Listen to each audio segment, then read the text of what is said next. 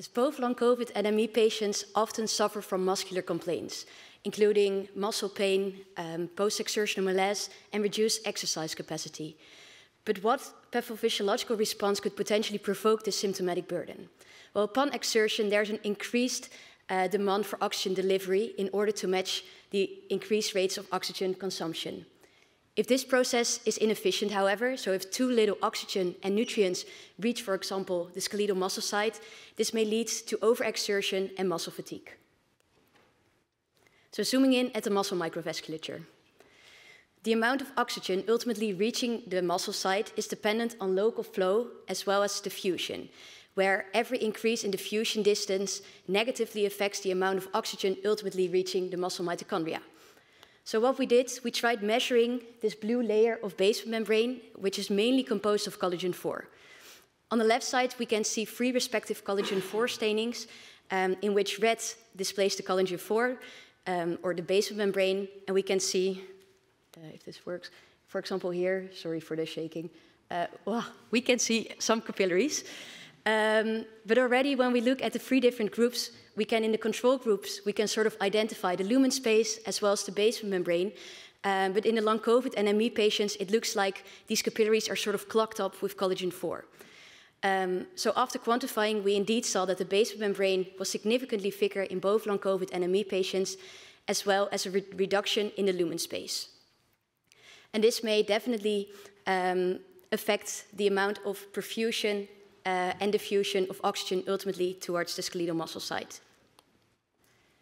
Zooming in even further, we've also performed electron microscopy, and this is a technique in which we are able to uh, visualize uh, different cellular components uh, at a very high magnification.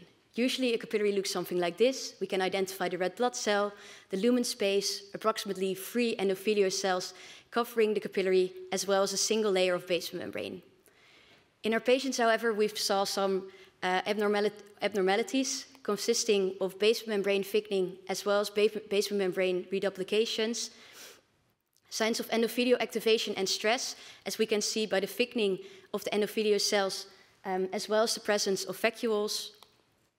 And lastly, even signs of endothelial cell degeneration. We can see that endothelial cells has been thickened, there's no more interior inside. So, to conclude, um, we've shown signs of reduced lumen space, endothelial activation and dysfunction, and basement membrane thickening, um, which may likely affect the amount of diffusion and perfusion of oxygen, ultimately, um, hypothetically, uh, leading to too little oxygen and nutrients reaching the muscle site, and maybe even a buildup of waste products, which may predispose to fatigue in these patients. Thank you for your attention. Thank you. Thank, thank, you very much for this really excellent presentation and very interesting data. Some very burning questions. yeah, very burning immediately and Sorry, how, how specific is this? Can it be a di diagnostic test? So how specific is it? Yeah, we're now, because we can sort of see almost like a black and white distinction also when we uh, take, for example, like the percentages, so to account for the capillary size. But we're now working on um, to include like uh, more samples to see whether we can maybe, in combination with questionnaires or whatsoever, whether this can maybe in the future become a diagnostic marker. But we need more research to fully confirm this. Perfect. I think further questions go to this young woman, to her poster.